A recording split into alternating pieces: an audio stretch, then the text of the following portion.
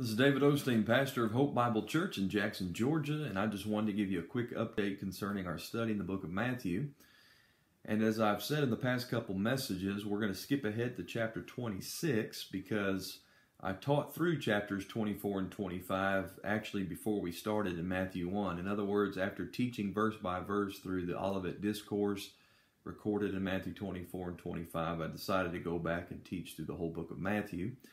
And so there are nine messages in which I go verse by verse through chapters 24 and 25, and we've plugged those into the Matthew playlist. So if you haven't seen them, or if you have and you'd like to review them, they're there in the Matthew playlist. So we skipped ahead to chapter 26.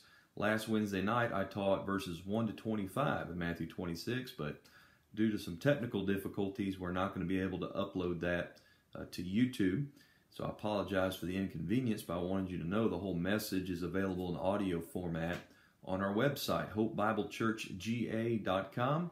Just uh, go there and click on media and then audio. And at the bottom of the page, you'll see folders with uh, different books of the Bible. Click on the Matthew uh, folder, and then there you'll find all of our audio messages in Matthew.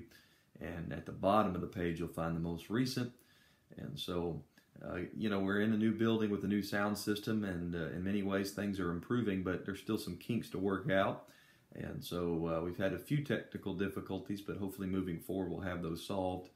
And so uh, if you were wondering where Matthew 26 was or why I skipped chapters 24 and 25, I just wanted to uh, make this quick video to explain that to you.